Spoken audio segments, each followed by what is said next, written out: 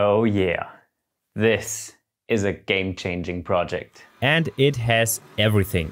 Machining, woodworking, CNC work, more machining, this.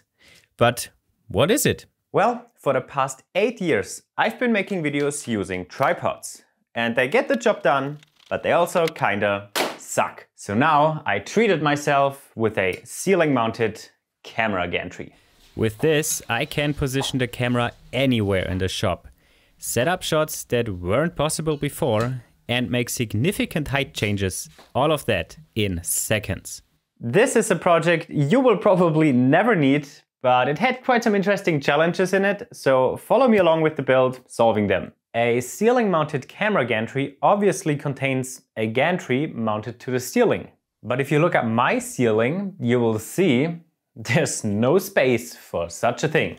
So I came up with a different approach, which is using some linear rails and a couple of blocks usually used in CNC machines. These linear rails can take load in every direction except the one they're moving.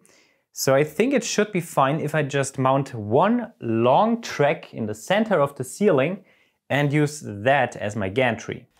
But I can't just mount the rails to the ceiling because they need to clear the lights and wiring. So I want to mount them a bit lower to some kind of steel plate. And as it happens, I have a perfectly suitable piece of flat stock for that.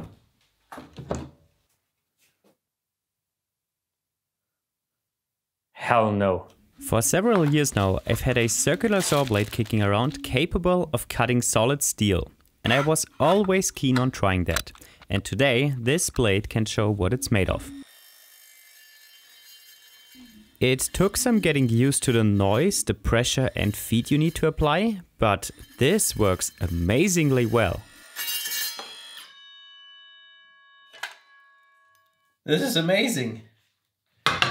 Wow, this is fast. And the cut quality is also okay-ish. Maybe I can do better on the next one but this makes a huge mess. So the next cuts I think I'll make in this corner where the chips are then more contained. You can't really see anything now, but it's not all that interesting.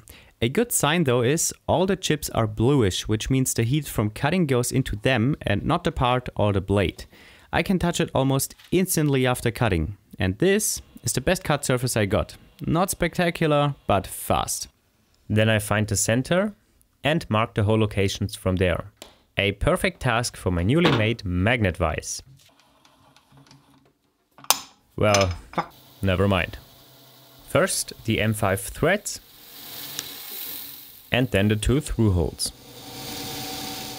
After a quick deburring, I only need to make the rounds with a file. There it's done. All six of them. Then I made a big steel plate, which is basically two of the small ones in one, for joining the rails together. But this gave me some trouble. First of all, the stock wasn't straight to begin with, but I could bend it back into shape with some clamps. But then I picked the wrong drill bit size from the tapping set and now have M5 through holes instead of threads. What a bummer.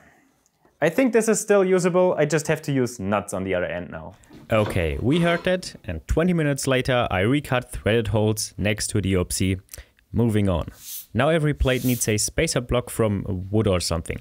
I found a perfectly suitable offcut from another project, cut it to size and drilled the holes. By accident I got this perfect match of frame rate and RPM on the drill press, making it seemingly standing still. This looks weird, like just pressing the bit into the wood. And same with the chamfering bit. Recording this was pretty cool. Finally, rounding, uh, I mean chamfering the edges and these pieces are done as well. With all these parts done, it's time for the first assembly. I start by joining the rails end to end with a big steel plate to make a long one. To align the rails, I use one of the blocks, slide that halfway over both rails and tighten the bolts. Now this is by far not the smoothest of transitions and definitely not the intended way of doing that, but for my camera gantry purpose, this should be fine. So far so easy. Now mounting all this to the ceiling. I first measured and marked the ceiling center, drilled one hole for the big steel plate and screwed it down, or rather up. Then I could measure the distance from both ends to the wall and rotate the whole thing around the first screw to adjust it parallel to the wall. By the way, I did this whole installation together with my dad, some nice dad and son shop time. Next is securing the ends. We had a nicely questionable clamping setup to press the plate and spacer against the ceiling. It worked perfectly for starting the holes. And here it's essential for the holes not to wander and be at the exact location. In concrete, I found this works best to start the hole with a regular drill, then switch to the hammer function and then switch to a rotary hammer for the hard work. After securing the ends, we mounted the other steel plates the same way and finally the second center screw. And now this rail is up there for good. Ouch. Ouch. Ouch. Also, this ceiling is amazingly straight. I didn't have to change any of the spacer blocks. And so the transition in the middle now is basically flawless. Next is making an aluminum plate to mount the two blocks to. I had some leftover bar stock big enough for this purpose. I just cut off the other project leftovers and cleaned the edge on the table saw. Then marking the hole placement and drill pressing them, you know. And after some more chamfered rounds and deburring, this part can be installed. I have another short but identical rail so I don't have to do this over my head. From there I can slide it onto the long rail and test it out. Nice.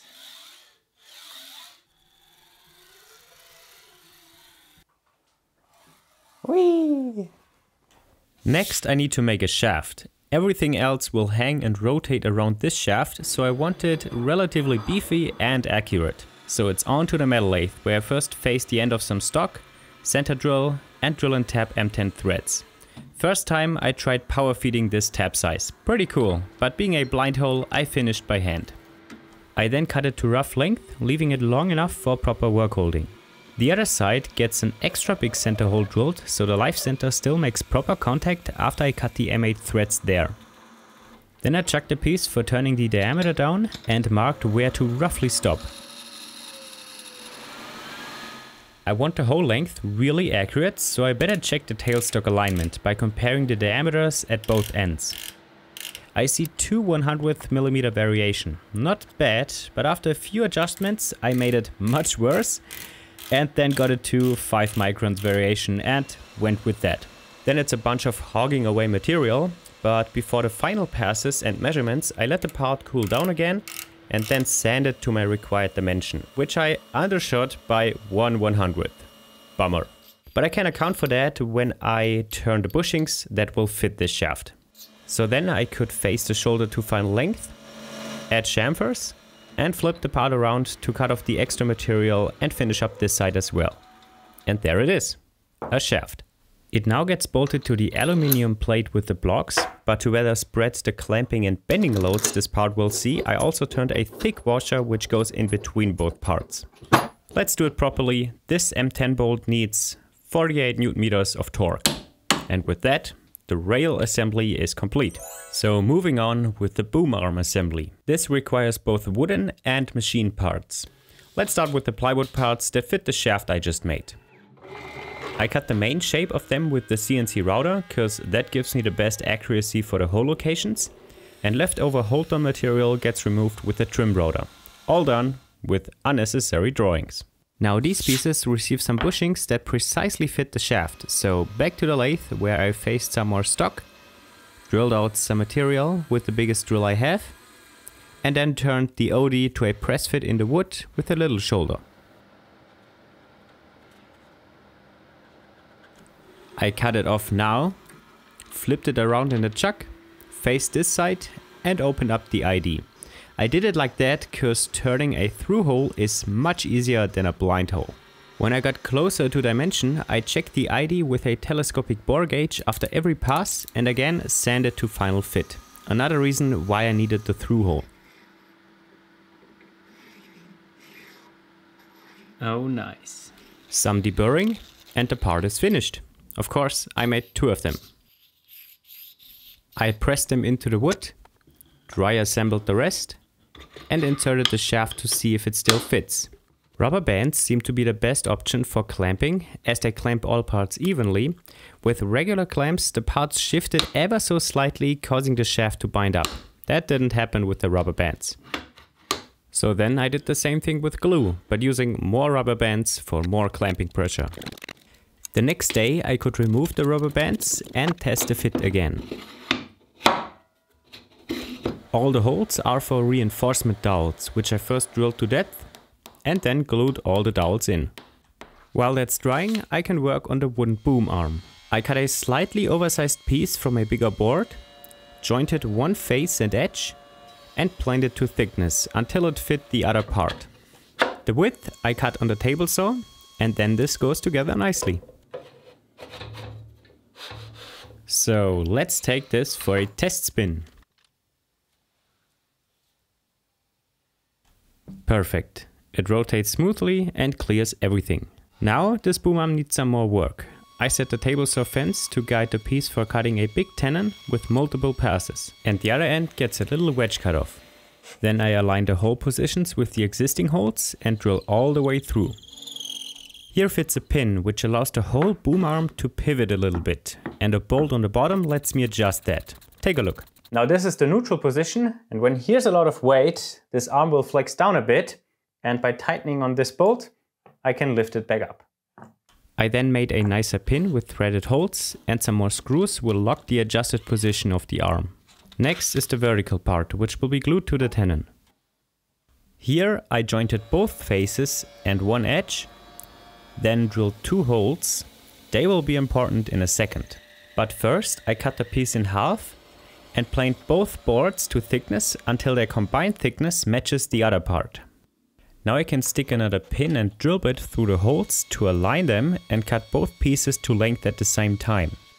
With the same technique as before, I created the matching joint for the tenon. Pretty cool method to create big, precise wood joints.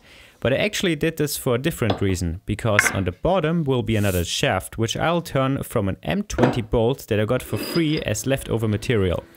It's grade 10.9, which means it's pretty tough, but shouldn't be a problem for carbide inserts.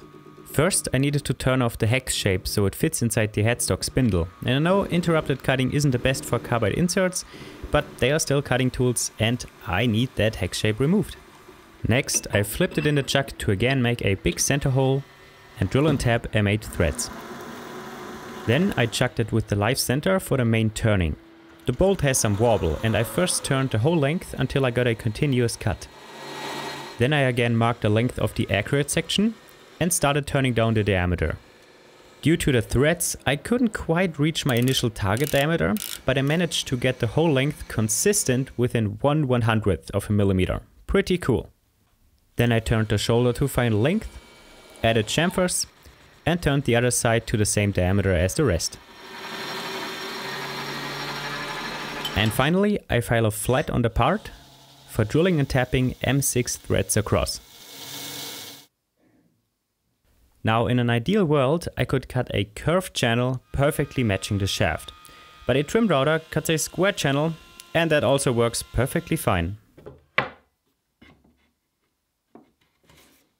I added a second threaded hole in the shaft, transferred the hole positions into the wood and drilled through holes for the mounting screws. Ah, Slotted screws. The best invention ever. Everybody loves them. And now the boom arm is ready to be glued. First one of the joint surfaces, which I let dry for an hour, then the rest.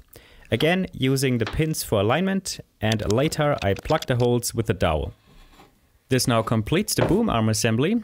Then I grease the shaft and the bushings, slid it on and secured it with a brass washer and a little cap I turned.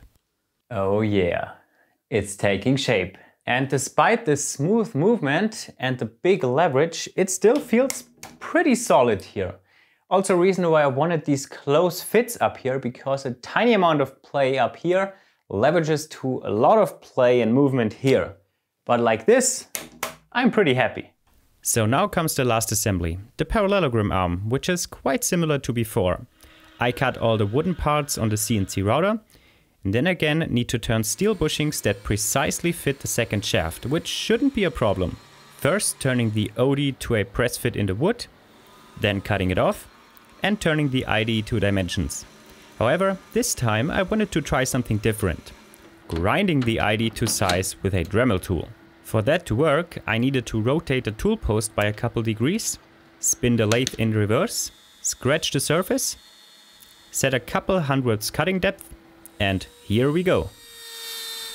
I'm genuinely impressed how well this works, feeding all the way in and all the way out again. After three passes, I got this.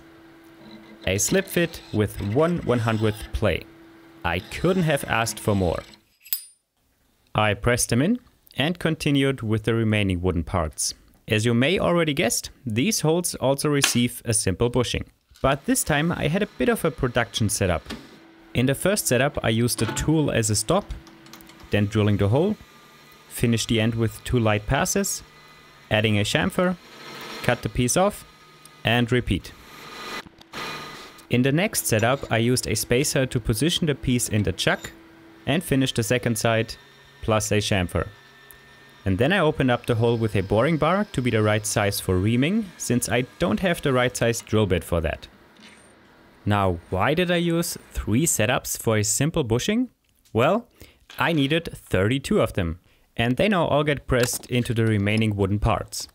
These parts have location features machined into them and align the bushings. And clamped together like this, the main shaft fits nicely, as well as the shoulder bolts. So then the same thing with glue again. Since nothing was binding up with clamps, I didn't need the rubber bands. And this also got some reinforcement dowels. For the parallelogram arms, I bought some square aluminum tubing at rough length. At the table saw, I cleaned the factory edge and then cut all of them to equal lengths. Well, it's better double check the length on the drawing. What the fuck? Each end of the arm pieces will get a reamed hole for then again a bushing and a shoulder bolt to rotate on. And to get this nice and smooth, I got some nylon bushings. But as you can see, these are not precise. Their ID is about 3 tenths larger than the shoulder bolts. I won't accept this with the other tolerances of this project. So once again, I'll be making my own bushings. I use some POM round stock I have from a different project and again make some kind of a production setup. Register against the tool, facing, drilling and reaming. Then I insert a precise pin I made to prevent the hole from deforming or collapsing while turning the OD.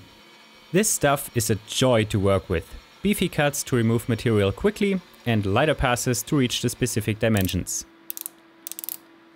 And the best part is cutting it off.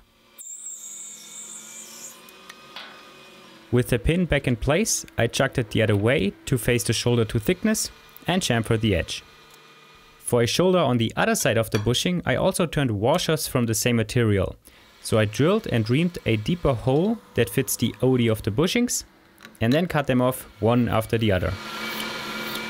To repeatedly drill the holes into the arm tubes, I modified my vice jaw to install an adjustable stop and also pressed some small plastic pieces into the arm tubes, which will help when installing the bushings and keep the square shape over time. So then I drilled and reamed the hole to press in the bushing. And since I made this a slight press fit, the shoulder bolt no longer fits, so I run the smaller reamer through there again and make it a perfect fit again. The other end gets the washer and that's it for the bushings. For clearance and aesthetics, I cut off the corners before I could do the rewarding assembly.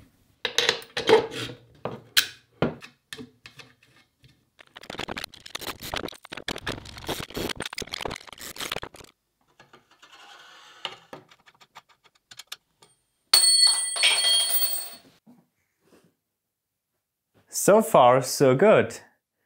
It can't support a lot of weight at the moment because I haven't added springs yet, but this feels nice and smooth, there's no play in the joints. I can easily reach the ceiling now and when it's fully extended also the floor. And then I can fold it together nicely into the arm, just like I planned.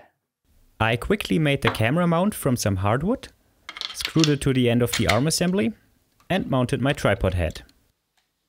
Since I only have one camera, I have to simulate the weight for setting up the springs. They get hooked onto some pins, which I forgot to record making, but it was just some more lathe work. One replaces a shoulder bolt, the other mounts to an arm. And with the arm offcuts, I could clamp it at different positions and figure out the right tension to support the weight in every position. This required varying the spring tension and the friction in the joints. With the springs now set up, it can hold the camera weight in the fully contracted position and the fully extended position, and also everything in between. So then I marked the pin positions and drilled holes to install them properly. Now I can easily move the camera from one scene to the next and also high up in seconds. Just what I need to install the very important end stops on the rail. An angle bracket with some wood and felt.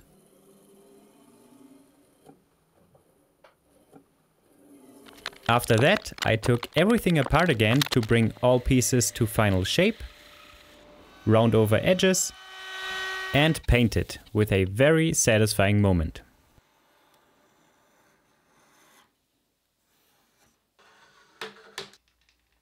I quite like how the blue color came out. And now let me show you something you probably wouldn't have guessed.